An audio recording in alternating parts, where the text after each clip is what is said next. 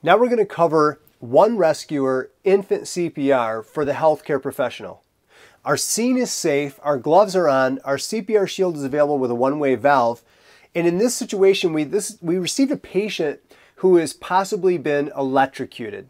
Now we're going to place one hand on the forehead as we tap and try to stimulate the patient. They do not respond to our taps and shouts. They're unresponsive and they're not breathing normally. If we are in a situation where we still need to activate EMS, we're going to call 911 and then we're going to begin our treatment. If you're in an in-hospital setting or in a clinical setting, it may be now time to call a code. So now, as we check for that breathing to see if they're breathing normally, we're also going to feel for a brachial pulse for no more than 10 seconds. We check for that brachial pulse by reaching on the inside of the bicep, between the tricep and the bicep on the inside of the arm. We do not feel a pulse and there is no normal breathing. We're going to draw an imaginary line across the nipples and drop our two fingers down on the lower third of the sternum. When we do our compressions, it's important to remember that the depth is going to be approximately one third of the depth of the chest, and the rate is going to be between 100 and 120 compressions per minute. And it'll look like this.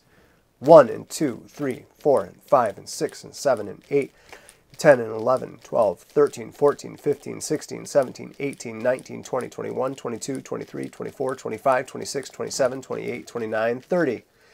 We grab our appropriate sized CPR shield with a one-way valve. But let's talk about CPR shields, or in this case, rescue masks for a moment. A rescue mask comes in a couple different sizes, whereas a rescue shield is usually a flat piece of plastic with a valve of some sort that's one way. But here you've got something that can work with a bag valve mask as well, and we see these more often in healthcare settings. Notice that on this side I have an infant size and in this one I have an adult. If at all possible, have the appropriate size for the size of the patient. I have an infant line here, I have an infant um, pocket mask, and so I'm going to use that size appropriately. If all you had was the adult size mask, there are tricks of the trade by turning it upside down that we could use to try to make it work. In this case, we're using the infant size mask, and we're going to cover the nose and the mouth, Bring the child's head into a neutral or a sniffing position. Sniffing position is when we're, you smell that apple pie baking? It's just a slight upturn of the nose. It's not a full head tilt chin lift. It's just a nice neutral position. And we're going to attempt two rescue breaths. First breath went in. Second breath went in. We know that because we saw chest rise and fall. With minimization of delay between rescue breaths and chest compressions, we begin our second set of 30 compressions. Now we're going to do this 30 compressions to two rescue breaths, and we're not going to stop until we're ready to defibrillate.